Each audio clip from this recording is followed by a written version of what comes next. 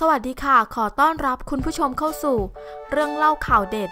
วันนี้มีเรื่องราวข่าวบันเทิงมาให้ชมกันค่ะ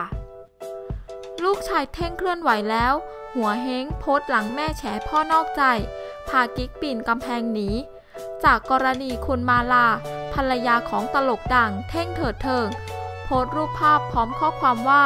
ให้ทายว่าภาพนี้เป็นภาพอะไร เป็นภาพคนจอรอเขาแอบคบชู้กัน โดนเมียจับได้ บุกพังห้องเลยต้องปีนกำแพงหนีผู้หญิงเร็วผู้ชายก็เร็ว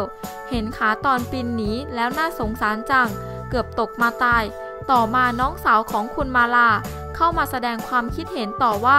พี่เขยอย่างรุนแรงทำให้ชาวเน็ตยิ่งมั่นใจว่า เรื่องนี้ไม่ใช่เรื่องอำเล่นๆแน่นอน ล่าสุดบน Facebook ของหัวเฮงนายอัครพงศักดิ์พงสุวรรณ ลูกชายคนโตของเท่ง ได้โพสต์ข้อความเกี่ยวกับเรื่องที่เกิดขึ้นว่า ใครเจอน้องสาวผมทั้งสองคน อย่าถาม น้องยังเด็กกำลังจะโต น้องทั้งสองคนเป็นคนเซนสทีฟมาก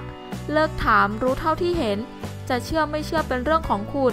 ถ้าใครรู้จักกับน้องสาวผมทั้งสองคน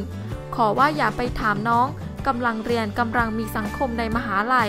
อย่าทำร้ายน้องผมด้วยแค่คำว่า อยากรู้ ต่อมาได้โพสต์ข้อความอีกครั้งระบุว่า ใครเจอข่าวไรในเฟซเกี่ยวกับทางครอบครัวผม ไม่ต้องมาถามผมหรือไรทั้งสิ้น มันเป็นเรื่องที่เข้าใจผิดกัน ขอบคุณทุกคนที่เป็นห่วงและคอยให้กำลังใจ ย้ำนะครับ เป็นเรื่องที่เข้าใจผิด ไม่ต้องถาม ผมไม่อยากรับรู้อะไรทั้งหมด ปล่อยให้เป็นไปตามนั้น ใครจะว่าครอบครัวผมยังไงก็ได้ เพราะครอบครัวก็คือครอบครัว อย่างไรก็ตามล่าสุดทั้งโพสต์บนไอจีของคุณมาลา ได้ลบรูปภาพดังกล่าวออกไปแล้ว แต่ยังไม่มีการออกมาชี้แจงใด ๆ ว่าเรื่องที่เกิดขึ้นนี้ความจริงเป็นอย่างไรกันแน่ ขอขอบคุณข้อมูลดีๆ จาก T-News อย่าลืมกดติดตาม พร้อมทั้งกดรูปกระดิ่ง เพื่อแจ้งเตือนเรื่องใหม่ๆ จะได้ไม่พลาดรายการเรื่องเล่าข่าวเด็ด ขอบคุณที่รับชม แล้วเจอกันใหม่ค่ะ